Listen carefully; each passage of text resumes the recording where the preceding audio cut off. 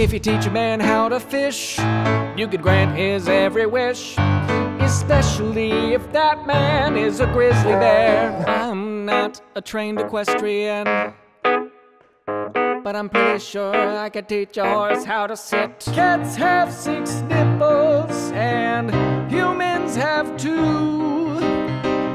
You'll get fifty dollars if you can guess how many I have inside my backpack.